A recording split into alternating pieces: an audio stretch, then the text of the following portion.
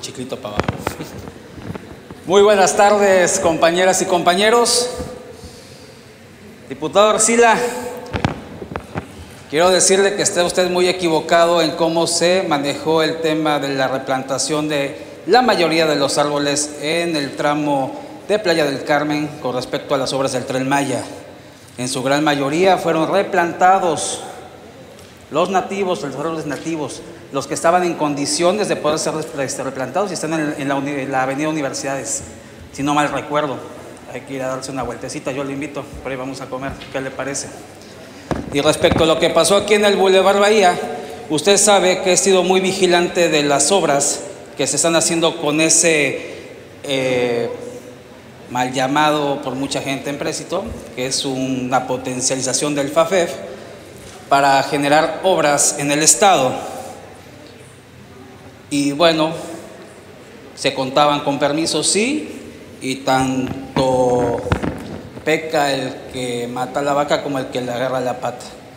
Ahí hay dos autoridades que están inmersas y que tienen, ahí sí estoy de acuerdo con usted, tienen que darle la cara al pueblo, porque arbitrariamente, sin tomar en consideración los estudios de los grupos de biólogos, de los grupos que saben del tema, hicieron una devastación así, tal cual, total, de este tramo del bulevar.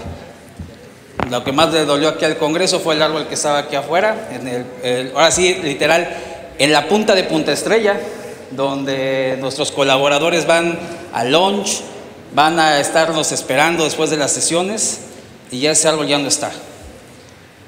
Sí hubo permisos porque sí los tienen y ahorita se quieren tapar la mano, digo, el sol con un dedo. Yo me sumo a lo que propone Julio, lo que propone Gustavo, que se esclarezca y quien la hace la paga. Y eso es algo que el mismo gobierno federal ha estado promoviendo. No podemos dejar impune una situación tan pequeña que al rato nos va a valer sorbete, no va a pasar nada, y al rato otra vez va a llegar otra persona y va a hacer lo mismo. En Quintana Roo, quien la hace la paga, señores, así sea un arbolito, así sea una mascota, todo sea por la paz y la tranquilidad del pueblo de Quintana Roo. Y desde esa tribuna, bueno, no soy la tribuna, estoy desde mi curul, ni una más, ni otro más. Y vamos a tratar de que este último periodo podamos lograr darle al pueblo de Quintana Roo algo de lo mucho que nos ha pedido y si le hemos fallado.